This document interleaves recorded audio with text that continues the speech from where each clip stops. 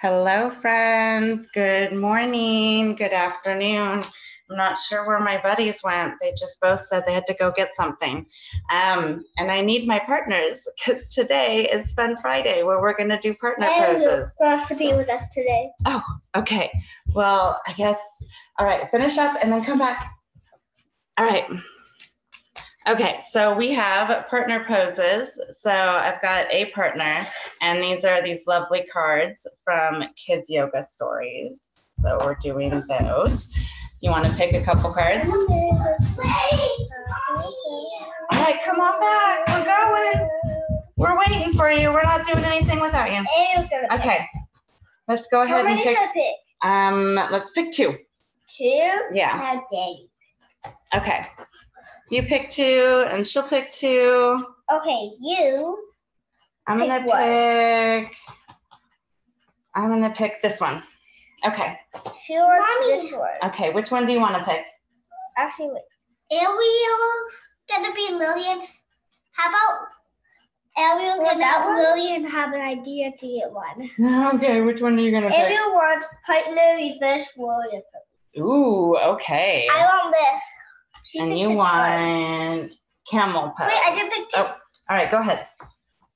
I did say a couple, didn't I? This one. Okay. This is easy. You want to pick This another is one, easy. Sam? I want to do an easy one. Okay. I got an easy I want to do a hard one. Oh. No, that's a hard one. Well, they can Well, all be these are the easy and hard until we learn how to do them, right? I picked two easy ones. All right. So the card that I picked was Seesaw. Yes. All right, what do you have? Uh, we've got partner camel pose and warrior two. Okay. And oh my gosh, we also have reverse warrior and uh, forward bend. So, hmm, how are we gonna do this? Let's start with a Mommy, you have to do seesaw. both. You have So let's start with seesaw. So y'all are gonna have to partner up, or somebody needs to partner up with me. Which one do you? This is we're gonna do this one first. So we have to do legs out like this.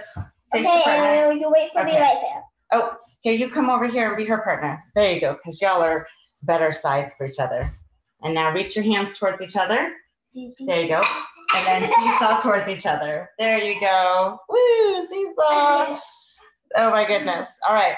So the next one we'll do is camel pose. So camel pose, you're on your knees. Here, go ahead and get on your knees and then hold hands and then lean back. That's not fair. Lean back. There you Mommy, go. that's kind of All right. You're gonna do camel pose? All right, ready? Now straight your arms and then lean back. Lean back. Whoa.